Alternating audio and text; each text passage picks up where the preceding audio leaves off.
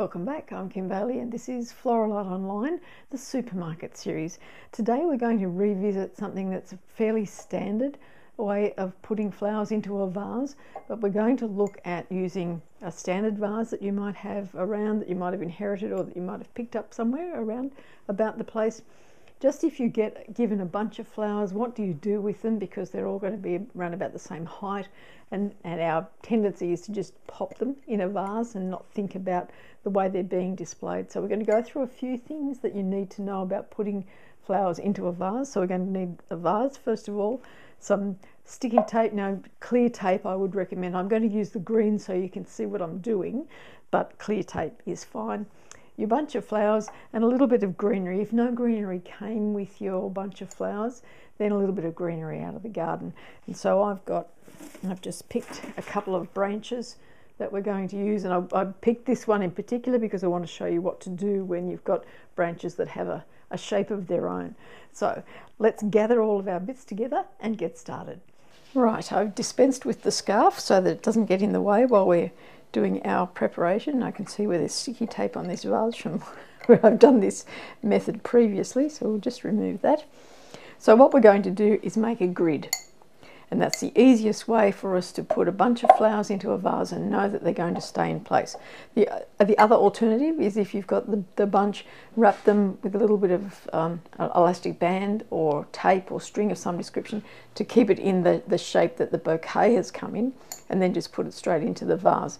What I will warn you about, and I will you'll see me doing it here, is that if you're going to have water up to the top of the vase like that, anything that is below the water is going to deteriorate and cause discoloration and smell and it just encourages all of the uh, microorganisms to start growing into the water. So always clear the stems that are going to be below the water line. It, it also gives you a nicer look when you're looking through the vase and it'll keep the water clearer for longer. So let's get a start on the grid. Basically it's just putting tape across the top in, in a grid fashion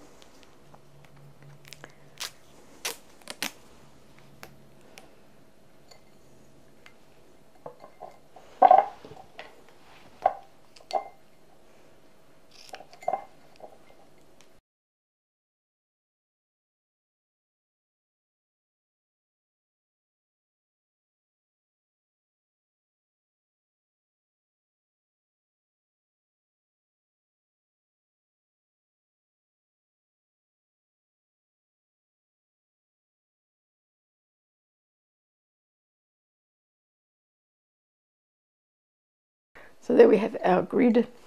Obviously with the clear tape you wouldn't see the, the edges around that, that way, but we'll cover those up with a little bit of the foliage so that you don't see them as obviously in the green as you might do with the clear. Make sure that your vase is dry when you put the tape on, otherwise it'll just lift off as this one is because the vase was still wet from where I'd washed it there we have the, the grid. Now if, you, if you're worried about those coming loose, you can run another bit of tape around the outside as well. But for the exercise today, we won't worry about doing that.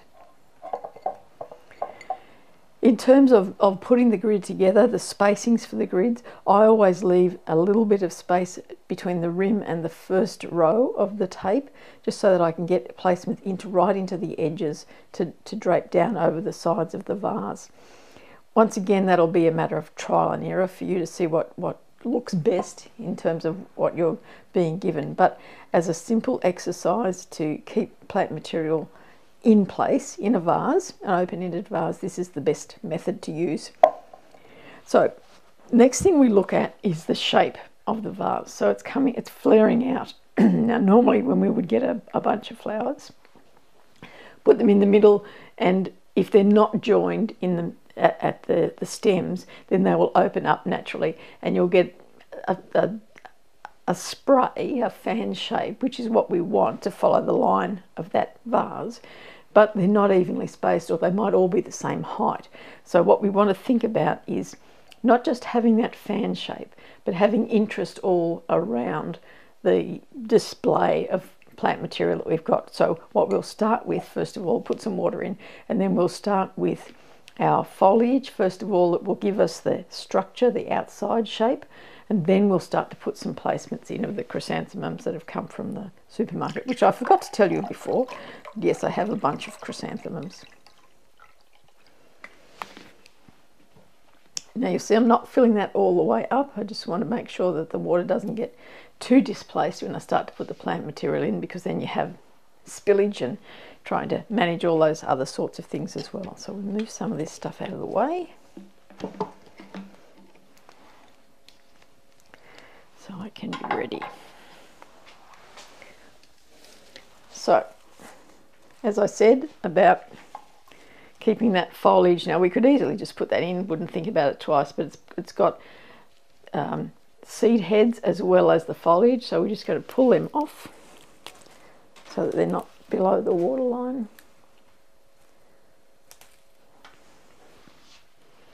And we're just going to look at the natural shape of this stem.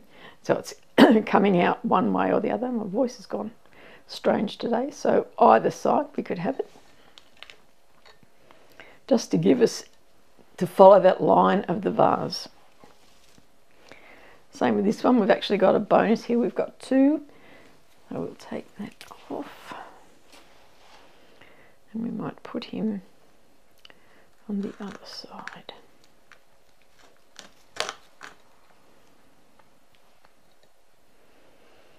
So that's giving us each side of the arrangement following the lines. So if we looked at it being an all-round design, then we'd have one on, on, these cardinal points, these clock face points as well, so that we had the four ways. But let's just think of it as in terms of sitting up against a wall, or perhaps we might have some smaller ones there in case you wanted to move it to a table. So we've got this one that was joined. It's got two branches that go either side, plus a, a smaller one in the middle. What we can do with that, we, we can cut them both off there and then they would both be more or less the same size or we can have one longer than the other. So cut one there and leave the other one the full length which is what I'm going to do. And in doing that you can always cut that second one down if you wanted to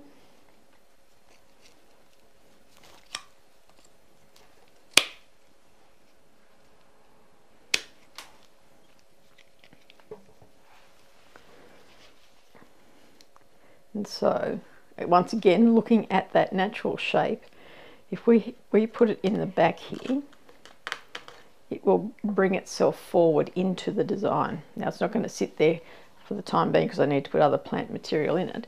And then we can have this one at the front that is reflecting that same shape.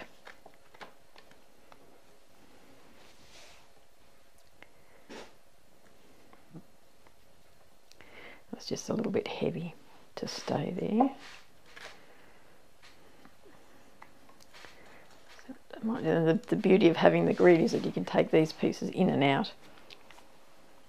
I'm just going to cut it off a little bit, see if that helps it physically balance in the uh, in the vase.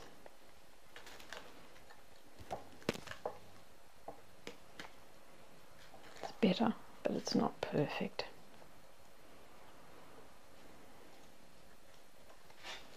We'll let it go the way it wants to and then we'll adjust it as we go along. And now we come to placing the actual flowers. Now already I'm seeing, looking at it from the back, that this branch is too long. So I'm going to trim that off now before we go any further.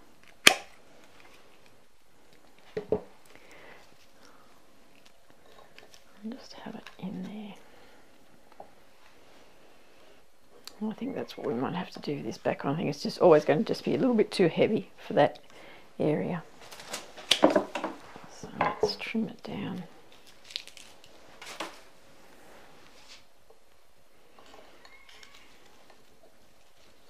To make it sit a bit better. So there we go. That's sitting a bit better.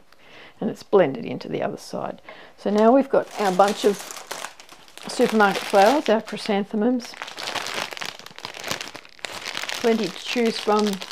As you know, we've used chrysanthemums in the past, so you can cut them down and have more than just the stems that are presented to you in the bunch itself.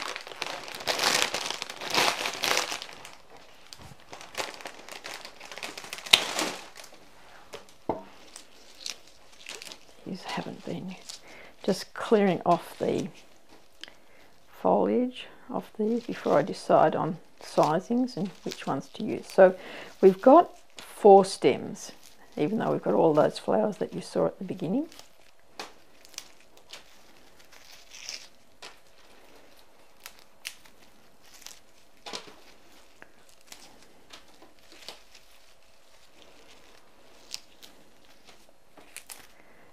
had these in the laundry for a few days and I opened the door the other day and said, oh, smells like Mother's Day and then I realised it was the chrysanthemums that had been sitting in the water in the bucket for a little bit.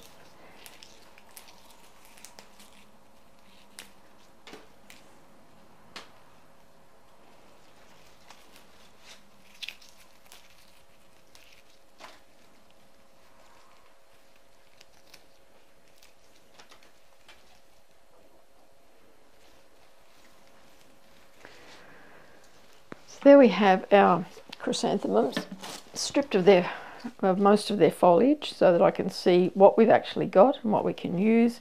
What I'm looking for first of all is the tallest ones so that we coming out from the vase shape we come out to here and we do our triangle at the top. So yes it will mean that you will cut down flowers that you get given but let's make it into a good display that's going to last longer. So for this central one, I'm just going to look at which is the most open because I don't necessarily want the biggest flowers at the top because that will draw your eye to the top and not in and around and through all of the other flowers that you've got there. So let's just take this one, which because they're all the same length, it's quite straightforward for me to choose which one's the tallest. And that one goes in the middle of our grid. And you can see how easy it is to put them into the grid. They just sit there and behave, which is very good. Now some of these others,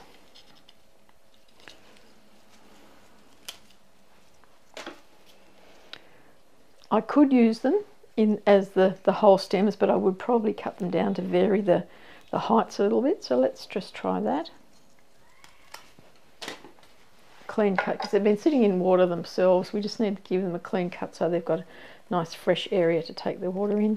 So I'm going to take this one a little bit more to the back, work around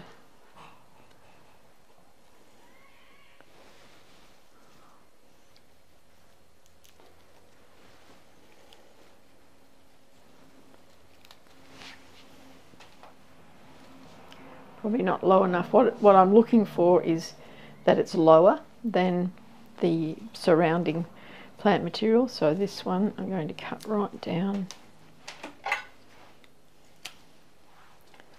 That is a couple of spares.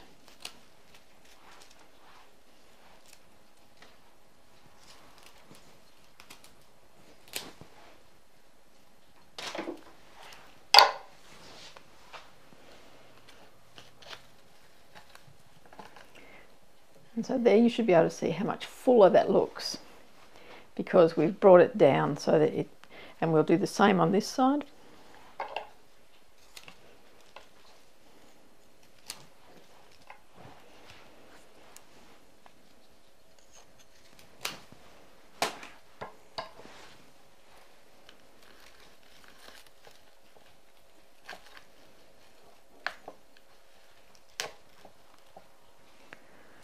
And then we've got a few extras that we can just slide in that once again brings that interest down through the design so you can see the colour, see glimpses of the colour in the base of the design without actually having plant material there.